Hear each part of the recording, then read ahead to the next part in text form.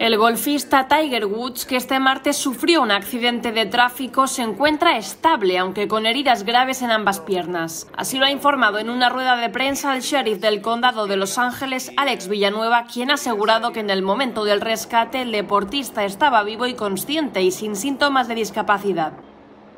Según las autoridades, todo apunta a que Woods viajaba a alta velocidad por una pendiente empinada y cuesta abajo, aunque la investigación sobre el suceso todavía está en curso. La parte delantera del coche quedó totalmente destruida, sin embargo, gracias al sistema de seguridad no hubo que lamentar ninguna víctima mortal. En estos momentos el golfista se encuentra ingresado en un hospital de Los Ángeles y según informó su agente Mark Steinberg, Woods tuvo que ser intervenido en quirófano de múltiples lesiones en sus piernas debido a heridas moderadas y críticas en el accidente con su vehículo en el que viajaba solo.